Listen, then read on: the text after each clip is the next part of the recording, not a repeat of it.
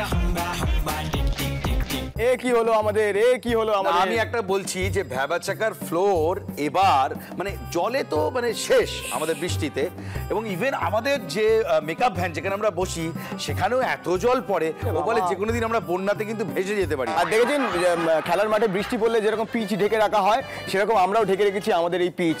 এবং আমাদের সামনে দেখেছেন বড় বড় হোটেলে যেরকম টিউব দিয়ে দেওয়া হয় সেরকম রয়েছে সামনে আমাদের টিউব। যখনই রোদ হোক বা যখনই বৃষ্টি দরকার হোক আমাদের তখন আমাদের কাছে থাকে রেডিমেড বৃষ্টি ট্যান ট্যানা হ্যাঁ।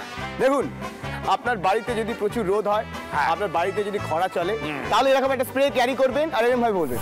উফ যা বৃষ্টি পড়েছে না এখানে? কিন্তু এই বৃষ্টির মধ্যে আমরা করব আজকে আমাদের এই অনুষ্ঠান যেখানে আপনারা পাবেন বৃষ্টির আনন্দ। যে বৃষ্টি দেখেও কিন্তু নেচে উঠতে পারে নেচে উঠতে পারে আপনার মন। সেই অনুষ্ঠানের নাম হচ্ছে মেঘ সরে গেছে তো। আরে বাবা। আরে মেঘ সরে যাচ্ছে তো। মেঘ সরে যাচ্ছে? ওই তোমার ছেড়ে দেবো কিন্তু। মেঘ এবার কুলিকুচি করে জল দিচ্ছে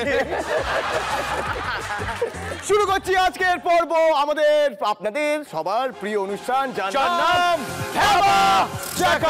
স্পেশাল পার্টনার আদি মৈমোহন কাঞ্জিলাল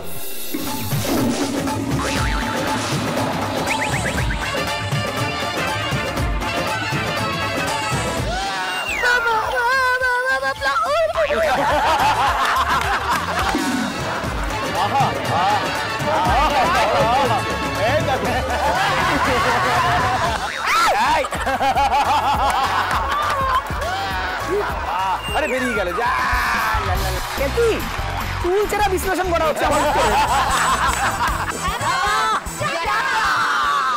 আজকের এই পর্বে চারজন পার্টিসিপেন্টকে এবার ডেকে নেওয়ার পালা। আর আজকের চারজন পার্টিসিপেন্টস হলো অরিত্র জয়িতা প্রান্তিক and Ananya!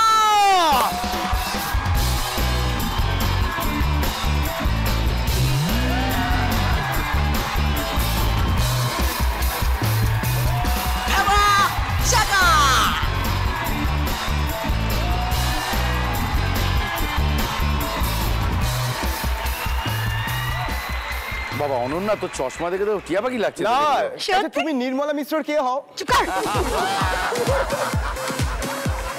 I mean sorry চুলের মধ্যে কি ঢুকিয়েছো? বেলুন ঢুকিয়ে ফুলিয়েছে দেখুন না না। তাই মনে হচ্ছে? না, একদমই না। হাওয়া পড়েছে? অত চুলই নেই। না না মানে চুল আছে। কি বলছো? না না আমি সেটা বলছি না মানে বেলুনের মতো করার মতো আর কি চুলে হাওয়া ভরা থাকলে কিন্তু যে কোনো জিনিস করতে হয়। যায়। থেকে কি পড়তে পারে সাইড দিয়ে কি আসতে পারে কিছু তো আইডিয়া নেই আমাদের। এরকম চশমা কিনেছো কেন? কে বলেছে আমাকে চশমাতে খুব ভালো লাগবে। নিশ্চয়ই। তাই। বিড়ালের বাচ্চা মনে হচ্ছে। হ্যাঁ? থ্যাংক ইউ বাট এটা ক্যাটাইজ নয়।